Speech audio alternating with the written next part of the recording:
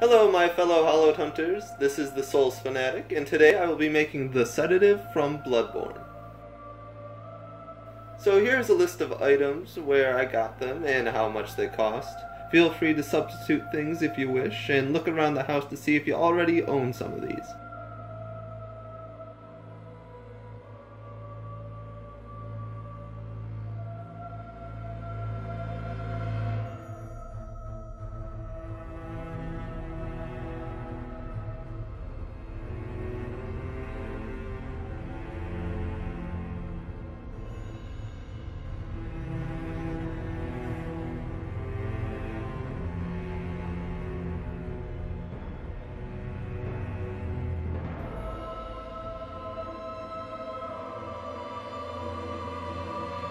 So to start, you're going to need a glass bottle and a good label design.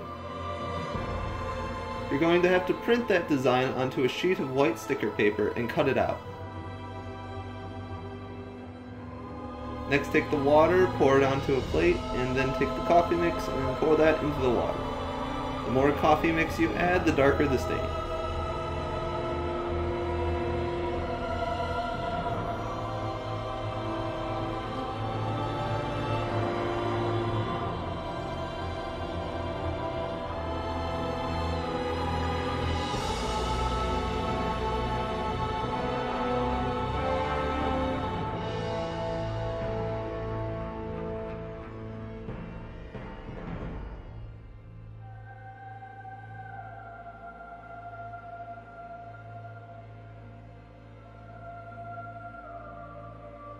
Make sure your label is the right size and then dip it in the coffee stain.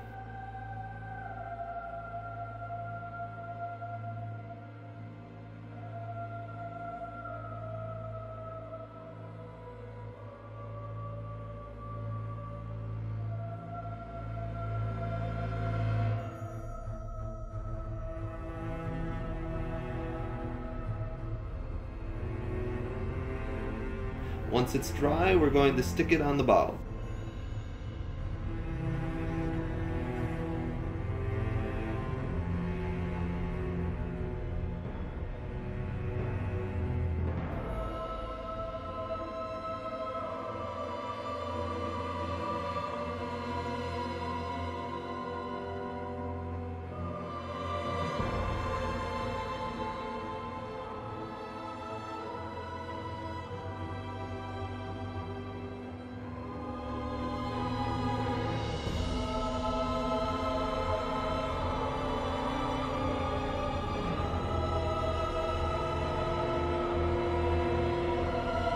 Next we're going to work on the bandage wrap.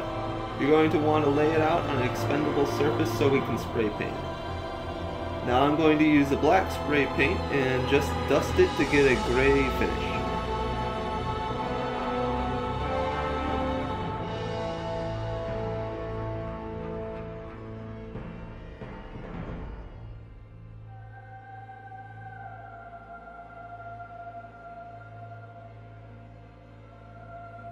Now your tape may have this clean finish like mine. I don't want that, so I'm going to take a pair of scissors and cut away these little spikes.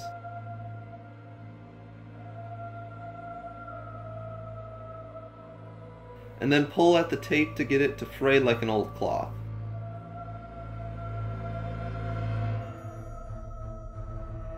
This is what it should look like when you're finished.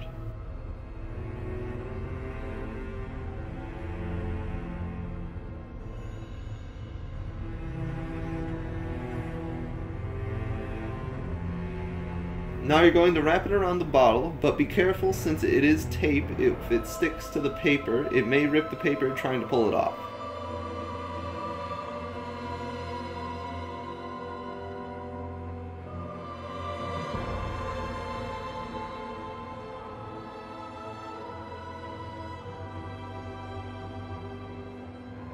Eventually, this is what I ended up with. Once you're finished wrapping, you may want to curl the edges to get the wrap to stand out a bit more.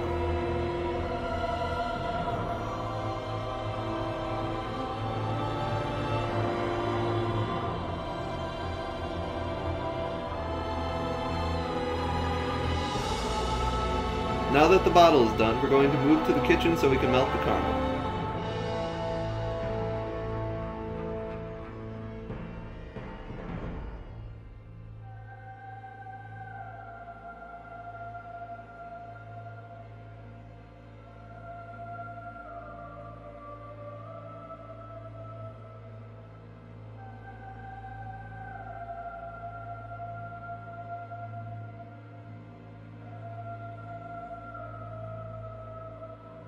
I recommend only melting 5 at a time because caramel expands when it is heated and it may overflow.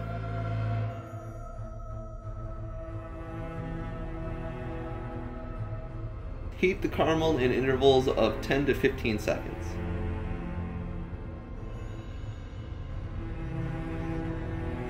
Once it is melted, begin spooning it into the jar.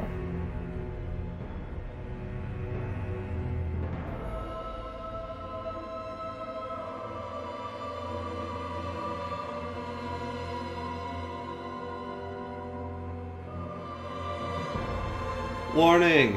The stove is hot, and I am not responsible for any injuries you may cause to yourself and or to others, so please take the proper precautions. Use an anti-stick spray on the pan, make sure it coats the entire pan, but be sure that there isn't too much or else your marshmallows may turn to snot.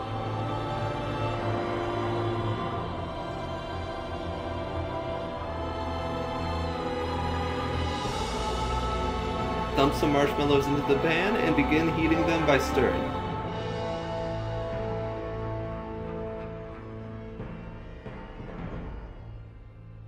Once the pan and mellows are hot, add a tiny bit of water to get them to start melting.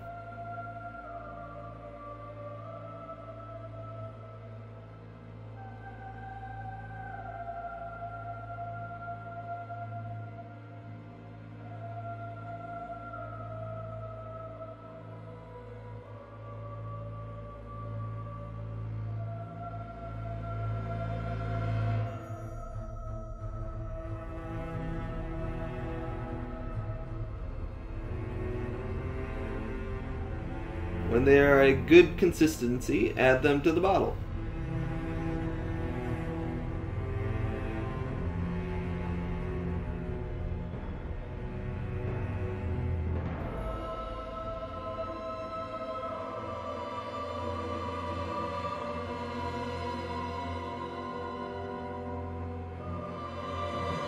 You're going to have to keep doing layers of caramel and marshmallow until they fill about halfway. Mix the two to get that marble finish, and when everything looks good, put it in the freezer to harden. Now caramel and mellows are a pain to scrub off. Put your tools in a bath of hot water to dissolve the sugar, making it much easier to clean. Once the caramel has hardened, you're going to have to clean the mouth of the bottle to fit the cork. You want to use a wet hot towel and try scrubbing the outer and inner rim.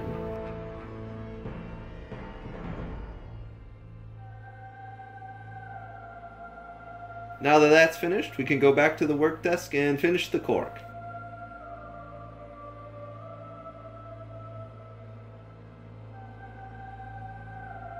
Now we're going to want to make it look older, so I'm going to use the black spray paint. And just like the cloth wrap, we're going to lightly dust it.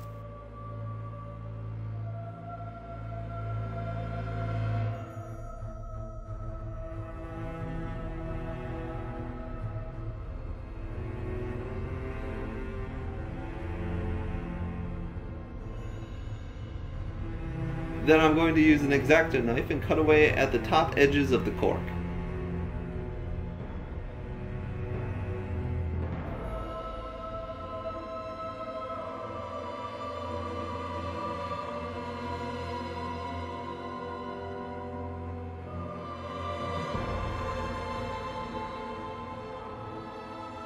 And then I'm going to use the sandpaper to make it look a bit smoother.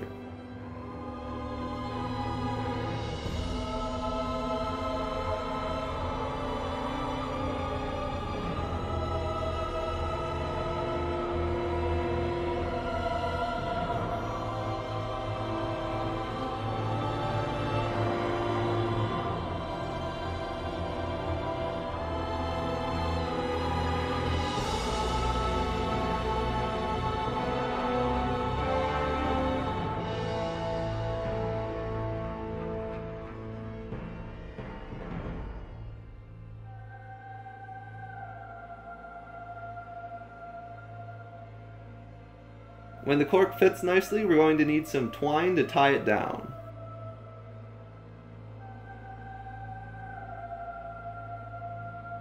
Now this is my own method, not sure if there's an actual way to tie down a cork. But first you're going to wrap the twine around the lip of the bottle, then cross them. Take both ends and fold them over the cork.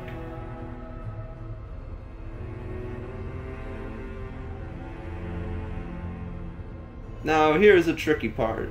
You're going to pull the twine wrapped around the lip and push both ends through the gap.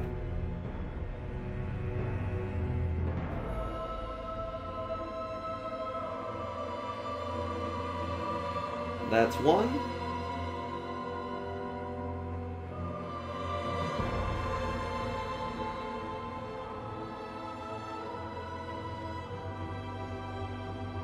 And that's two.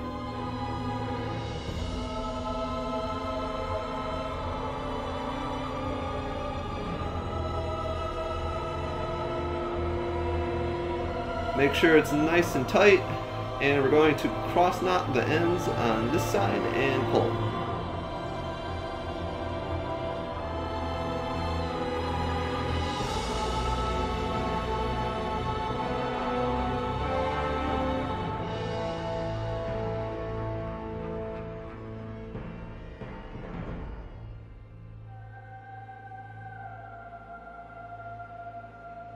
Now we're just going to cut off the extra twine and our sedative is finished.